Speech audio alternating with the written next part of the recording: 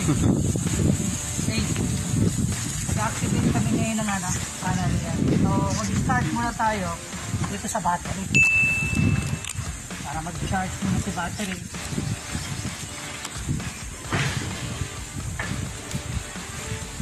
Well, itong unit kasi ginawa pa direkta sa planta kaya ito, dito na lang inactivate.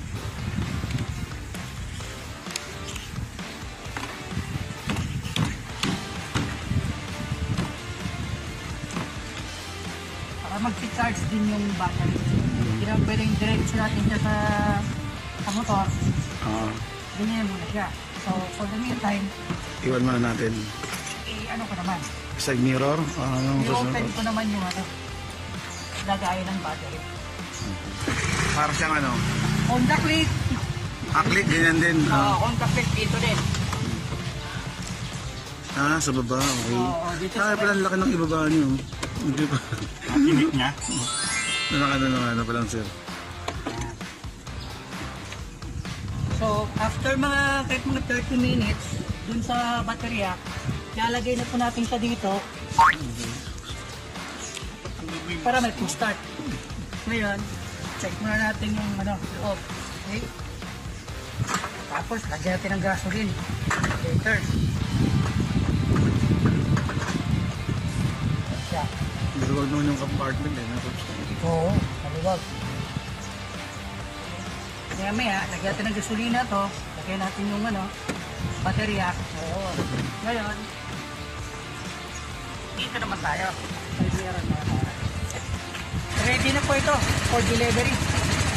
Okay. So, wait lang po para sa ito, Ma'am Mary Ann.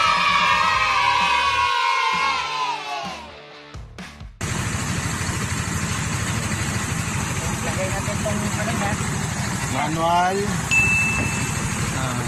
Ba isa? Warranty. Saka yung tools. Tools. Tools. Okay. Yan. Smart na spot. Panarea 125. Ito.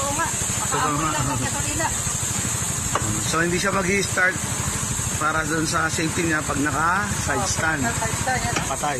Uh, kaya kanina, hindi na pansin na nakaganyan. Kaya push ka ng push yan. Wala Ganyan. nangyayari. Hindi natin, yan o. Ah, pag naka side stand. Ganyan yan. Ay, Okay? Ganun po yung feature niya. Okay. Ready na po tayo. Maya maya lang, deliver na natin sa kliyente natin. Tuloy natin mamaya.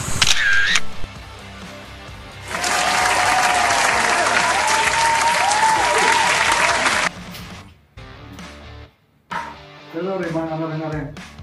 Kailangan siya doon na magitik siya. Man- Manual din to, no? Ah, Pag hindi magatik, manual din siya. Nakalak na siya. Nakalak mo. Manual din na rin, no? Yes, sir, manual. Ano rin yan, sir? Ah, one down, five up din para sa lang.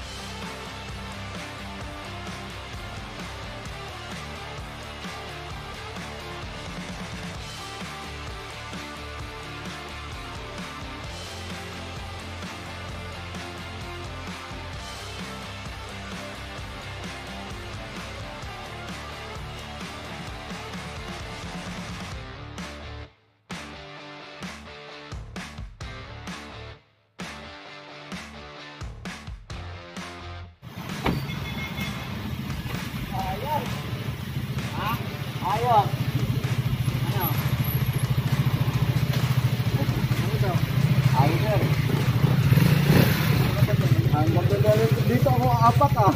Ang layo. Ganun pala. Ha? Nanibago ako. Dito ko apak kanina.